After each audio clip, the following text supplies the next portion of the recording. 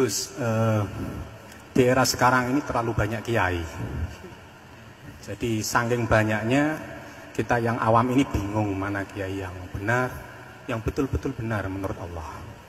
Mana yang seperti nampaknya benar tapi ternyata itu tidak seperti yang diinginkan Allah. Jadi cara pandang panjenengan ini bagi saya sudah luar biasa mencerahkan sekali. Saya usul itu Bu bagaimana satu bulan sekali lah Gus Bahak Kerso ke Semarang. Itu yang pertama.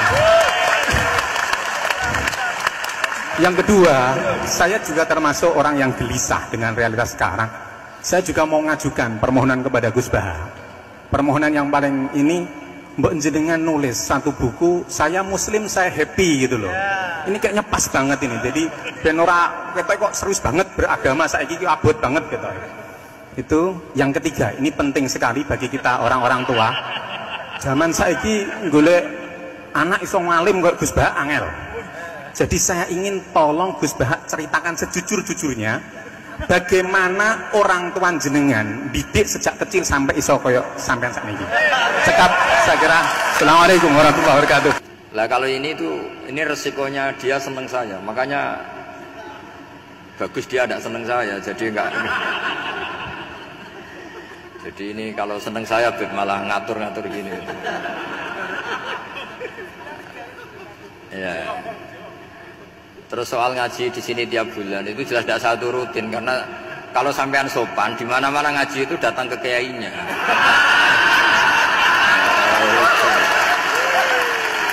Eh, itu kalau Imam Malik ada pertanyaan kayak anda ada di marin al ilmu yuk talayati jadi sumur itu tidak tangin bukan sumurnya dipindah ini enggak sopan sekali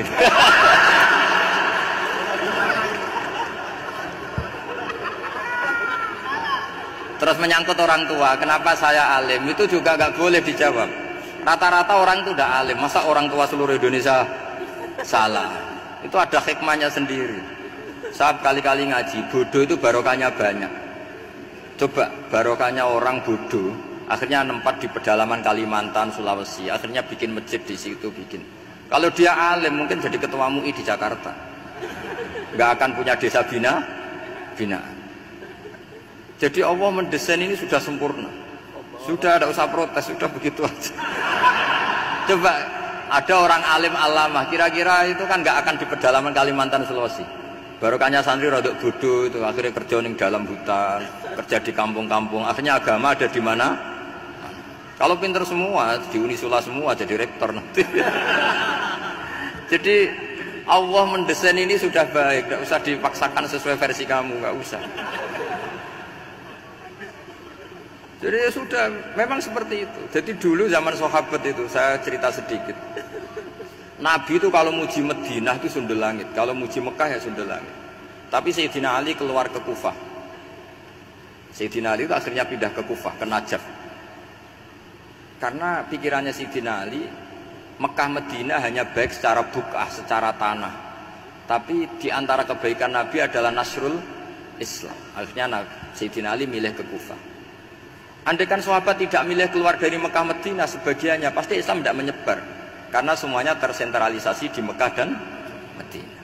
Tapi ada saja sahabat yang tetap nyaman di Mekah Medina karena sholat di sana sebagaimana seribu sholat. Ya sudah seperti itu, dilihat gampang saja. Akhirnya yang di Mekah Medina ya tidak ngeritik yang keluar, yang keluar juga gak ngeritik yang di Mekah Medina. Jadi yang alim tidak ngeritik yang bodoh, yang bodoh apalagi jangan ngeritik yang alim. Ya yang jelas orang bodoh ngatur orang alim itu dosa itu yang ya saya kira demikian assalamualaikum warahmatullahi wabarakatuh